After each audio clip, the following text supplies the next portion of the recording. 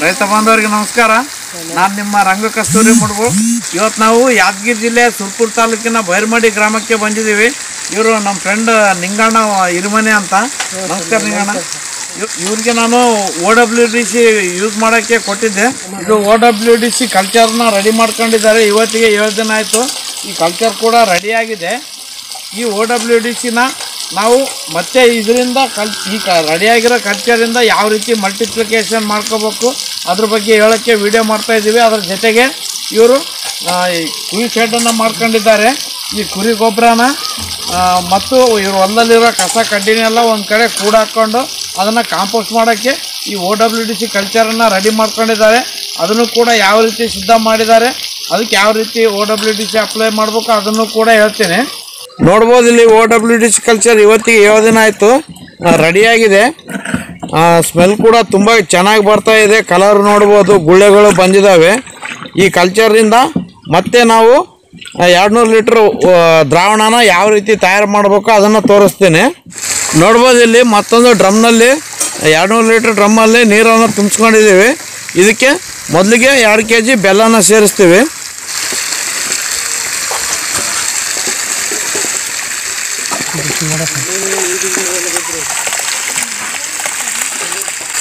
ನೋಡಿ, ಈ ರೀತಿಯಾಗಿ ನೀರಿನಲ್ಲಿ ಬೆಲ್ಲನ, ಎರಡು ಕೆ ಜಿ ಬೆಲ್ಲನ ಸೇರಿಸ್ಕೊಂಡು ಕ್ಲೀನಾಗಿ ಕರಗೋವರೆಗೂ ಮಿಶ್ರ ಮಾಡಬೇಕು. ಈ ರೀತಿ ಬೆಲ್ಲ ಕರಗಿದ ಮೇಲೆ ನಾವು ಮುಂಚೆ ತಯಾರು ಮಾಡಿದಂಥ O W D C culture ಇದೆಯಲ್ಲ ಆ ಕಲ್ಚರ್ನಿಂದ ಒಂದು ಹತ್ತು ಲೀಟ್ರಷ್ಟು ದ್ರಾವಣನ ತಗೊಂಡು ಇದನ್ನು ನಾವು ಮತ್ತೆ ಹೊಸದಾಗಿ ರೆಡಿ ಮಾಡೋದಕ್ಕೆ ಸೇರಿಸ್ಬೇಕು.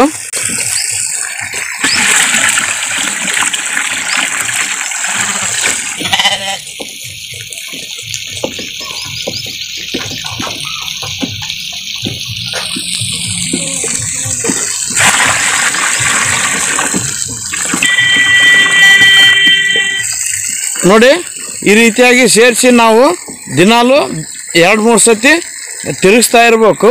ಈ ರೀತಿ ತಿರುಗಿಸಿದಾಗ ಮೊದಲು ನಾವು ಮದರ್ ಕಲ್ಚರಿಂದ ತಯಾರಿಸಿದಂಥ ದ್ರಾವಣ ರೆಡಿ ಆಗೋಕ್ಕೆ ಏಳರಿಂದ ಎಂಟು ದಿನ ಬೇಕಾಗ್ತದೆ. ಆದರೆ ಇದು ಮತ್ತೆ ರೀಮಲ್ಟಿಪ್ಲಿಕೇಶನ್ ಮಾಡಬೇಕಾದ್ರೆ ಕೇವಲ ಐದರಿಂದ, ಐದು ದಿನದಲ್ಲೇ ಇದು ರೆಡಿ ಆಗ್ತದೆ. ಮೂರೇ ದಿನದಲ್ಲಿ ಬಬಲ್ಸ್ ಬರೋಕ್ಕೆ ಸ್ಟಾರ್ಟ್ ಆಗ್ತದೆ.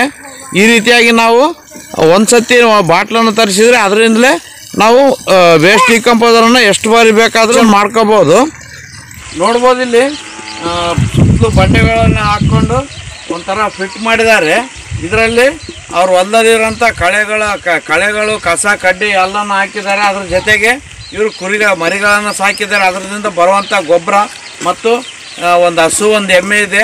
ಅದ್ರ ಗೊಬ್ಬರ ಮತ್ತು ಹೊಲದಲ್ಲಿ ಬದುಗಳಲ್ಲಿರೋಂಥ ತಪ್ಪಲ ತಡಿ ಎಲ್ಲನೂ ಒಂದು ಕಡೆ ಹಾಕಿ ಇದಕ್ಕೆ ಇದರಲ್ಲಿ ಸಗಣಿ ರಾಡಿ ಮಾಡಿ ಅದನ್ನು ಕೂಡ ಹಾಕಿದ್ದಾರೆ. ಈಗ ಆಲ್ರೆಡಿ ಇದನ್ನು ಹಾಕಿ ಎಂಟು ಹತ್ತು ದಿನ ಆಯ್ತು ರೀ ಎಂಟು ಹತ್ತು ದಿನದಿಂದ ಕಂಟಿನ್ಯೂ ಆಗಿ ಇದಕ್ಕೆ ನೀರು ಹಾಯಿಸ್ತಾ ಇದ್ದಾರೆ. ಇದರಿಂದ ಆ ಥರ ನೀರು ಹಾಯಿಸೋದ್ರಿಂದ ಅದರಲ್ಲಿರೋ ಉಷ್ಣಾಂಶ ಎಲ್ಲ ಹೋಗಿ ಗೊಬ್ಬರದಲ್ಲಿ ಉಷ್ಣಾಂಶ ಕಡಿಮೆ ಆಗ್ತದೆ. ಆ, ರೀತಿ ಉಷ್ಣಾಂಶ ಕಡಿಮೆ ಆದಮೇಲೆ ಈ ಫಿಟ್ಟಿಗೆ ಟೋಟಲ್ ಆಗಿ ಎರಡು ನೂರು ಲೀಟ್ರ್ ವೇಸ್ಟ್ ಡಿಕಂಪೋಸರ್ನ ಹಾಕ್ತಾ ಇದ್ದೀವಿ. ಈ ರೀತಿ ವೇಸ್ಟ್ ನಾವು ನೀರಿನಿಂದ ತೋರಿಸ್ಬಿಟ್ಟು ಹಾಕೋದ್ರಿಂದ ಅದರಲ್ಲಿರೋ ಉಷ್ಣಾಂಶ ಹೋಗಿ ಕೆಲವೊಂದು ಗಟ್ಟಿ ಪದಾರ್ಥಗಳೆಲ್ಲ ಮೆತ್ತಗಾಗಿರ್ತವೆ. ಆಮೇಲೆ ನಾವು ಇದಕ್ಕೆ ವೇಸ್ಟ್ ಕಂಪೋಸರ್ ಹಾಕಿದಾಗ ಕಾಂಪೋಸ್ಟಿಂಗ್ ಕೆಲಸ ಬೇಗ ಆಗ್ತದೆ. ಆದಷ್ಟು ಬೇಗ ಇದು ಕಾಂಪೋಸ್ಟ್ ಗೊಬ್ಬರ ಕೇವಲ ನಲವತ್ತೈದು ದಿನದಲ್ಲಿ ಕಾಂಪೋಸ್ಟ್ ಗೊಬ್ಬರ ಆಗಿ ರೆಡಿ ಆಗ್ತದೆ. ನಾವು ನಲವತ್ತೈದು ದಿನ ನಂತರ ನಮ್ಮ ಬೆಳೆಗಳಿಗೆ ಕೊಡಲು ಯೋಗ್ಯವಾದಂಥ ಗೊಬ್ಬರ ಉತ್ಕೃಷ್ಟವಾದಂಥ ಗೊಬ್ಬರ ರೆಡಿ ಆಗ್ತದೆ. ಈ ರೀತಿಯಾಗಿ ನೀವು ಕೂಡ ನಿಮ್ಮ ಹೊಲಗಳಲ್ಲಿರುವಂಥ ಕೃಷಿ ತ್ಯಾಜ್ಯಗಳನ್ನು ಬಳಸ್ಕೊಂಡು ಮತ್ತು ಅದಕ್ಕೆ ಸಗಣಿ, ರಾಡಿ, ಗಂಧ ಈ ಥರ ಎಲ್ಲ ಮಿಕ್ಸ್ ಮಾಡಿಕೊಂಡು ಮತ್ತು ನಿಮ್ಮ ಕೊಟ್ಟಿಗೆ ಗೊಬ್ಬರ ಇದ್ದರೆ ಅದನ್ನು ಸೇರಿಸ್ಕೊಂಡು ಅದಕ್ಕೆ ವೇಸ್ಟ್ ಡಿಕಂಪೋಸರ್ ಅಪ್ಲೈ ಮಾಡಿದರೆ ನೀವು ನಲವತ್ತೈದು ಕೇವಲ ನಲವತ್ತೈದು ದಿನದಲ್ಲೇ ನಿಮಗೆ ಉತ್ತಮವಾದಂಥ ಗೊಬ್ಬರ ರೆಡಿ ಆಗ್ತದೆ. ನೀವು ಹೊರಗಡೆಯಿಂದ ಯಾವುದೇ ಗೊಬ್ಬರ ತರದೆ ಇದನ್ನೇ ಬಳಸ್ಕೊಂಡು ನೀವು ಬೆಳೆಗೆ ಉಪಯೋಗ ಮಾಡ್ಕೋಬೋದು.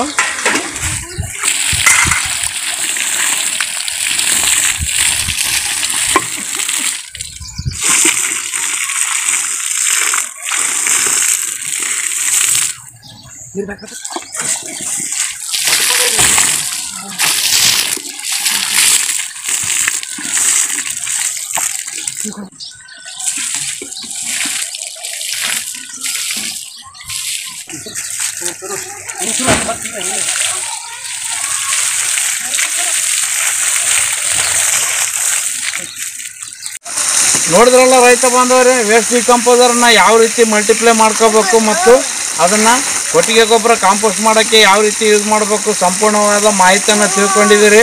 ಇದೇ ರೀತಿ ನಿಮ್ಮ ಹೊಲದಲ್ಲಿ ಕೂಡ, ನಿಮ್ಮ ಹೊಲದಲ್ಲಿರೋ ಅಗ್ರಿಕಲ್ಚರ್ ವೇಸ್ಟ್ನಿಂದ ನೀವು ಕಾಂಪೋಸ್ಟ್ ಮಾಡ್ಕೋಬೋದು ಮತ್ತು ಈ ವೇಸ್ಟ್ ಕಾಂಪೋಸ್ಟನ್ನು ಬಳಸಿ ನೀವು ಬೆಳೆಗಳಿಗೆ ಸಿಂಪಡಣೆ ಮಾಡ್ಕೋಬೋದು ಮೈಕ್ರೋ ನ್ಯೂಟ್ರಿಯೆಂಟ್ಸ್ ಮಾಡ್ಕೋಬೋದು ಕೀಟನಾಶಕವನ್ನು ತಯಾರು ಮಾಡಬಹುದು.